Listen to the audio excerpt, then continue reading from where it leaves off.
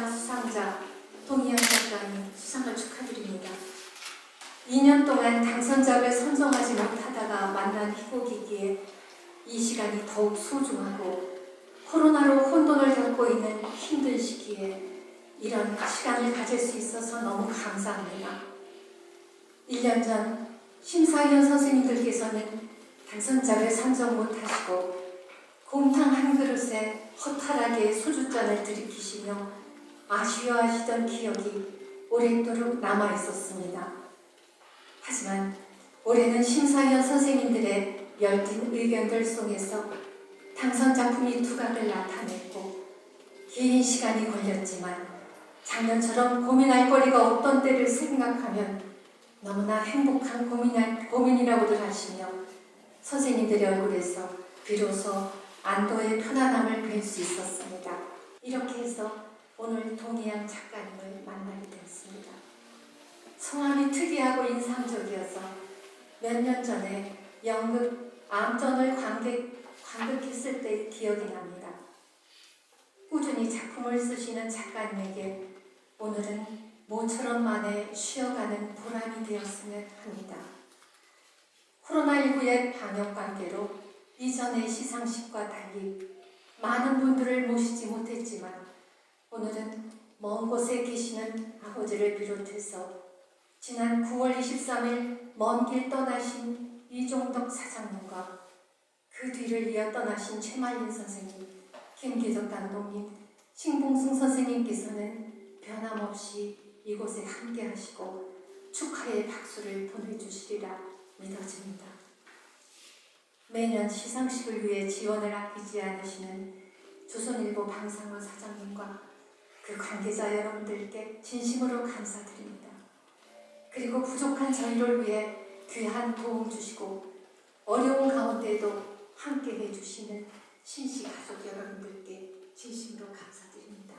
감사합니다. 관념의 사유를 예사롭지 않은 발상과 감각의 기재들로 독자적인 연극 세계를 추구해온 중견 작가의 길은 외로움과의 동행이었다. 한 권의 이곡집에 미쳐 다 담지 못한 당신의 잠, 어느 날 문득 네 개의 문, 떠도는 땅, 암전 등 주목할 만한 문제작들의 미학적 성과에도 불구하고 어, 대중적 수용의 범위는 다소 제한적이었다.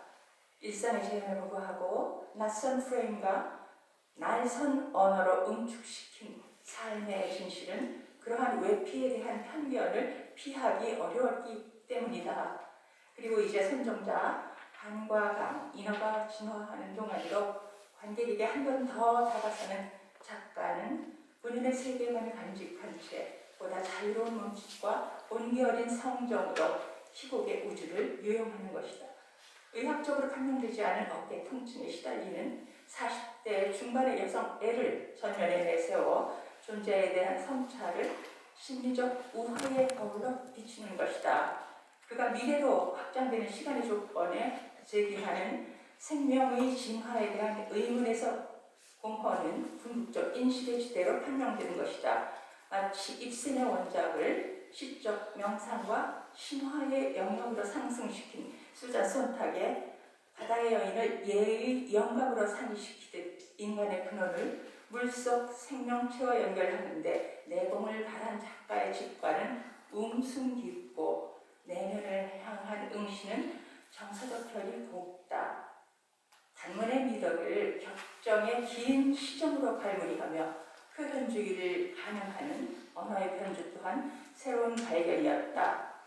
관객의 상상력을 무대로 끌어올리는 힘이 있었으며 그들로, 그들로 하여금 무대를 상상하고 어, 그것은 곧 우리의 사유를 진정시키는 것이다.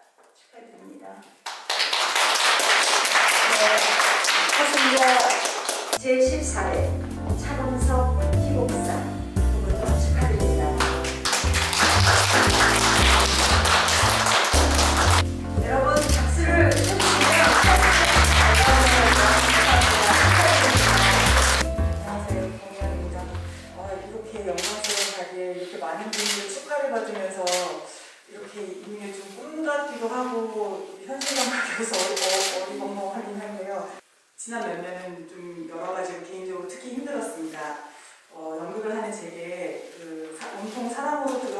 곳이 허허로움으로 가득했고 그곳에서 그걸 다시 할 수 있는 힘을 그 연극을 할수 있는 힘을 어떻게 찾아야 할지 몰랐습니다. 어, 그러면서 작업실 겸 극단 두 제가 같이 그 동료들과 운영을 하고 있는 극단인데요. 극단 두의 연습실인 이행성 극장을 만들었습니다. 이행성 극장의 전체 이름은 이행성의 이행성에 관한 극장입니다. 사실 속으로는 연극이 제게 아무것도 아닐 수 있는 순간으로 이행하고 싶었습니다. 왜냐하면 너무나 뜨거운 사랑이라 그것이 더 이상 아니게 되면 떠나야만 하니까요. 그런데 그러기에는 연극은 여전히 어렵고 여전히 아름답습니다. 그 깊은 어둠이 주는 온갖 환영과 스펙타클과 찬영과 몽상과 상상과 기억들. 그래서 저로서는 연극이 제게 아무것도 아니게 되는 순간을 찾고 싶었습니다. 연극 저 너머로 사라진다는 것, 누군가가 되지 않고 그 너머로 사라진다는 것, 그렇게 이행해 볼 수 있을까? 거기에는 연극을 그만두게 되는 것과 연극을 대충하는 것까지 모두 포함되어 있었습니다. 역설적인 노력, 연극을 그만두고 싶었고 연극을 조금쯤 대충하고 싶어 연극 연습실을 만들었다고 하면 저라도 믿지 않을 것 같습니다.